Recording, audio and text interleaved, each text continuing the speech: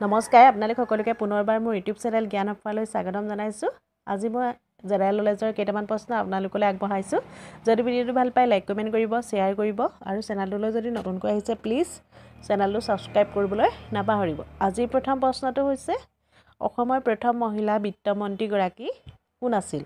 উত্তৰ হৈছে অজন্তা নেওগ হ'ল অসমৰ প্ৰথম মহিলা বিত্তমন্ত্ৰী নেক্সট প্ৰশ্নটো হৈছে নীলাগ্ৰহ বুলি কোনটো গ্ৰহক কোৱা হয়? অপশ্যনসমূহ হৈছে অপশ্যন নম্বৰ ক পৃথিৱী খ মংগল গ শুক্ৰ ইয়াৰ শুদ্ধ উত্তৰটো হৈছে অপশ্যন নম্বৰ ক পৃথিৱী নীলাগ্ৰহ বুলি পৃথিৱী গ্ৰহক কোৱা হয় নেক্সট প্ৰশ্নটো হ'ল doctor A P J Abdul কালামৰ দ্বীপ ভাৰতৰ ক'ত আছে? ইয়াৰ উত্তৰটো হৈছে উৰিষ্যাত doctor A P J Abdul কালামৰ দ্বীপ অৱস্থিত।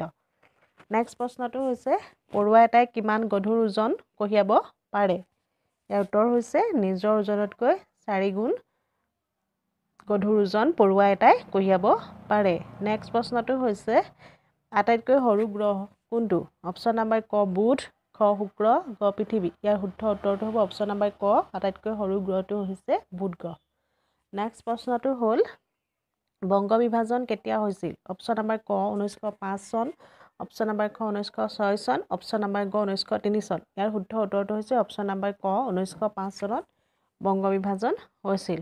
তাৰপিছৰ প্ৰশ্নটো হৈছে ভাৰতৰ ব্ৰডগছ ৰেলপথৰ প্ৰস্থ কিমান? অপশ্যন নম্বৰ ক পাঁচ ফুট তিনি ইঞ্চি। অপশ্যন নম্বৰ খ পাঁচ ফুট ছয় ইঞ্চি। অপশ্যন নম্বৰ গ চাৰি ফুট তিনি ইঞ্চি। ইয়াৰ শুদ্ধ উত্তৰটো হ'ব অপশ্যন নম্বৰ খ পাঁচ ফুট ছয় ইঞ্চি হৈছে ভাৰতৰ ব্ৰডগছ ৰেলপথৰ প্ৰস্থ। নেক্সট প্ৰশ্নটো হ'ল ভাৰতৰ পাইলট অনুজ্ঞাপত্ৰ লাভ কৰা প্ৰথমগৰাকী ব্যক্তি কোন আছিল?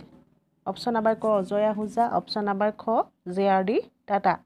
ইয়াৰ উত্তৰ হ'ব অপশ্যন নম্বৰ খ জে আৰ ডি টাটা হৈছে ভাৰতৰ প্ৰথম পাইলট অনুজ্ঞাপত্ৰ লাভ কৰা ব্যক্তি। নেক্সট প্ৰশ্নটো হ'ল ভাৰতৰ কোনখন ৰাজ্যৰ পথৰ ঘনত্ব সৰ্বাধিক? অপশ্যন নম্বৰ ক কেৰেলা খ গোৱা। ইয়াৰ উত্তৰটো হ'ব অপশ্যন নম্বৰ ক কেৰেলা। তাৰপিছৰ প্ৰশ্নটো হ'ল সৌৰজগতৰ কোনটো গ্ৰহক সেউজীয়া গ্ৰহ বুলি কোৱা হয়? অপশ্যন নম্বৰ ক পৃথিৱী খ ইউৰেনাছ গ শুক্ৰ। ইয়াৰ উত্তৰ হৈছে অপশ্যন নম্বৰ খ ইউৰেনাছ হৈছে সৌৰজগতৰ সেউজীয়া গ্ৰহ। নেক্সট প্ৰশ্নটো হৈছে কোন জীৱই বয়ত্ৰিছটা মগজু আছে? উত্তৰ হৈছে জোকৰ বয়ত্ৰিছটা মগজু আছে। তাৰপিছৰ প্ৰশ্নটো হ'ল পকা ফল পকাবলৈ কি গেছ ব্যৱহাৰ কৰা হয়? উত্তৰ হৈছে পকা ফল পকাবলৈ এথিলিন গেছ ব্যৱহাৰ কৰা হয়।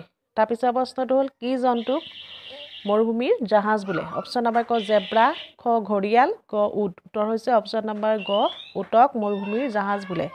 নেক্সট প্ৰশ্নটো হৈছে ভাৰতৰ ৰাষ্ট্ৰীয় ৰাসায়নিক গৱেষণাগাৰটো ক'ত অৱস্থিত? অপশ্যন নম্বৰ ক পুনে খ বাংগালোৰ। উত্তৰটো হৈছে অপশ্যন নম্বৰ ক পুনেত ভাৰতৰ ৰাষ্ট্ৰীয় ৰাসায়নিক গৱেষণাগাৰটো অৱস্থিত। ধন্যবাদ ভিডিঅ'টো আজিলৈ ইমানে আছিলে। যদি ভিডিঅ'টো ভাল পালে লাইক কমেণ্ট কৰিব শ্বেয়াৰ কৰিব আৰু ছাবস্ক্ৰাইব কৰিবলৈ নাপাহৰিব।